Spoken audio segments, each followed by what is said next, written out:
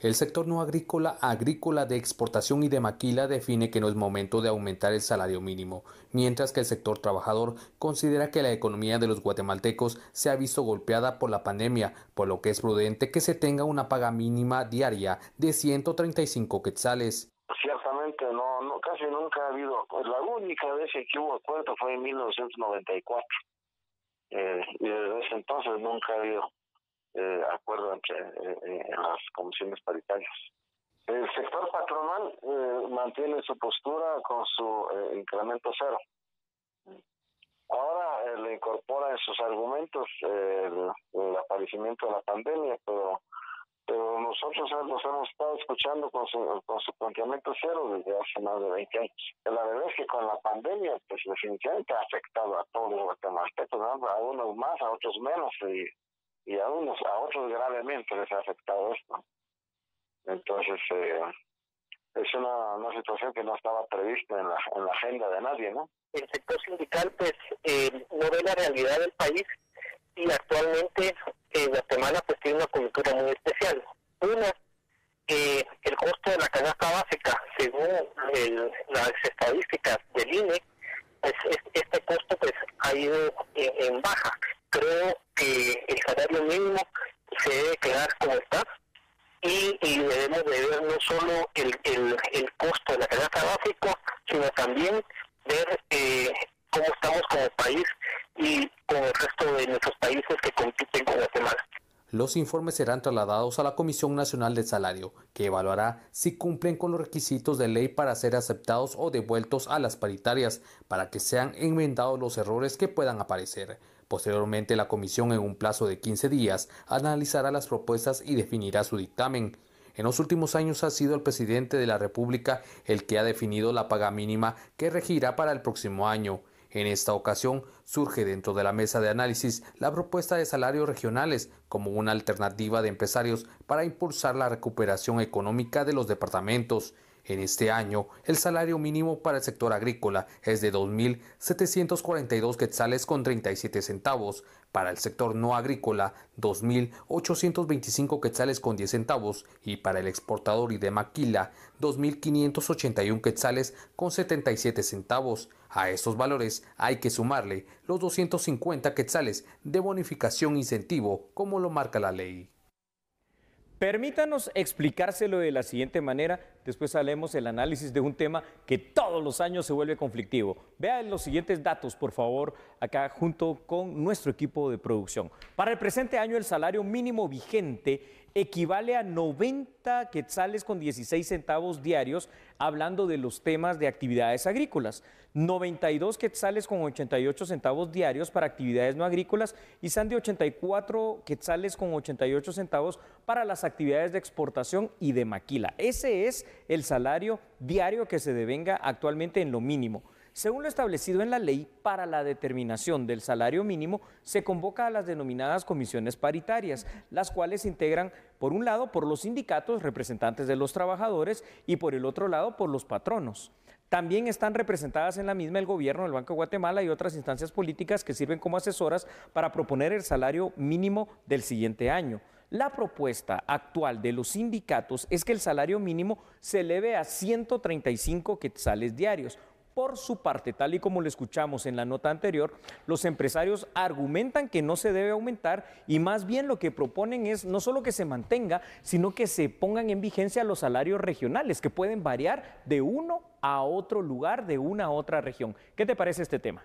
Es muy interesante, Julio. Obviamente sabemos que hay distintas posturas respecto al tema del salario mínimo y la pregunta es, ¿se aprueba o no se aprueba, Julio? Porque esa es una de las grandes incertidumbres que ahora queda. Ya está hecha la recomendación, pero ahora pasamos entonces o falta el punto medular. Mm, me permites dar una respuesta como una especie de vaticinio, pero lamentablemente casi que como ave de mal agüero en este caso, por lo que hemos visto en los últimos años, no porque ha sido una constante. No, difícilmente este salario mínimo mm, va a ser aprobado, porque obviamente ya vemos cómo desde la propuesta, que tiene una lógica, ¿no? La propuesta de los grupos sindicales dicen la pandemia del COVID-19 ha afectado tanto a la clase trabajadora que se necesita este incremento, mientras que los empresarios dicen no, por supuesto que ha afectado la pandemia del COVID COVID-19. Pero si aumentamos en esa proporción el salario mínimo, lo que se va a crear es todavía más desempleo. Y entonces esta situación se vuelve casi irreconciliable porque las distancias en cuanto a la cantidad de dinero son todavía muy grandes. Casi todos los años tú lo has visto, Sandy. Las comisiones paritarias no llegan a ningún acuerdo. La Comisión Nacional del Salario hace su recomendación y termina siendo el Ejecutivo el que al final de cuentas dispone cuánto es el aumento o como en los últimos años, el estancamiento del salario mínimo. Y como en los últimos años hemos visto que le dejan entonces la decisión final también al Ejecutivo, porque obviamente no hay acuerdo no se llega entonces a esa aprobación final y el Ejecutivo es el que tiene que decidir. En un contexto, Julio, donde estamos eh, pues todavía en una pandemia, donde no sabemos el otro año qué va a pasar. ¿Qué va a pasar? Porque recordemos que el COVID-19 no ha desaparecido, de hecho, ni siquiera se tiene ya una vacuna que ya esté autorizada avalada por la OMS, entonces también hay que considerar el panorama para el próximo año. Hay que considerarlo muy bien porque la economía guatemalteca se, ha sido seriamente afectada, pero hombre, se supone que lo que hay que hacer es reactivarla y fomentar la creación nuevamente de estas plazas de trabajo. Ahora, la gran pregunta pasa por lo siguiente, fíjate, más que cuál va a ser la cantidad en cuanto se aumenta el salario mínimo, no se aumenta, se reduce, se hacen salarios regionales, se queda igual, yo tengo la siguiente propuesta como pregunta. ¿Y qué pasa si no existe un salario mínimo? O sea, fuera de lo que determina la ley, ¿es más contraproducente o es más beneficioso? ¿El salario mínimo ayuda más para la creación de empleo o al contrario termina siendo un cortapisas para que no se creen tantas plazas de trabajo. Entonces, eso habría que analizar también, porque de pronto el hecho de que haya una libre competencia hasta en ese tema de los salarios pudiera terminar siendo más beneficioso para todos y crear más plazas de trabajo también. Si responsablemente a nivel empresarial también se tomara en cuenta esos aspectos que tú has dado, sería la verdad una buena propuesta, pero a veces también es necesario decir, bueno, a partir de este monto en adelante es que debe pagar exactamente a sus trabajadores. Entonces ahí también...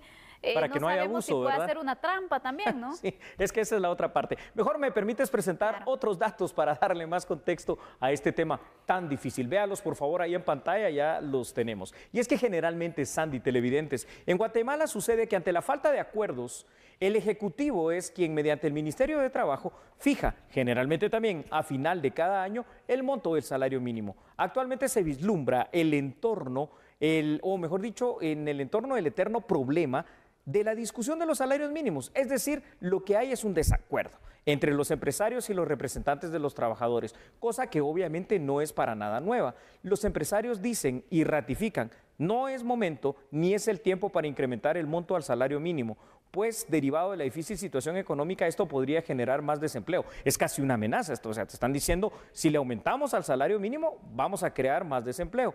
Pero los representantes sindicales dicen que esto es lo contrario y que el incentivo que hay que darle al trabajador para poder beneficiarlo lo más posible se tiene que ver mm, identificado desde el monto del salario mínimo. ¿Qué dices tú que va a pasar?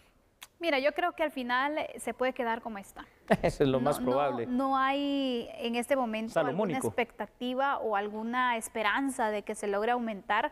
Si en otros años donde la situación económica ha estado mejor, no se ha logrado, imagínate en, este. este. contexto va a estar muy complicado. Aquí lo importante también va a ser que cada empresa pueda establecer algunas condiciones para ir motivando también a los trabajadores para que de esta forma sea ese brazo que les ayude a seguir creciendo, porque sabemos que también si las condiciones económicas para un trabajador son muy malas, ¿qué motivación va a dar para que dé esa milla extra? Exacto. Dos conclusiones para este tema que más que conclusiones terminan siendo cuestionamientos para que usted allá en casa nos ayude junto aquí a Sandy Monroy y al equipo de A la Medida a determinar qué es lo que va a pasar.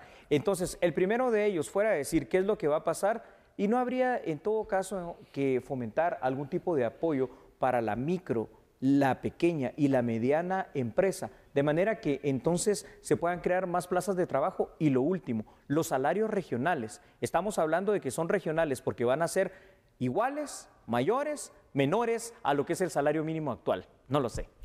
Le dejamos entonces esas interrogantes para que usted haga también su propio, análisis. Es momento de hacer una pausa. Me parece muy bien. Entonces, por favor, no cambie porque nosotros regresamos en un instante. Solo recuerde que a esta hora, acá en TN23, nosotros somos a la medida.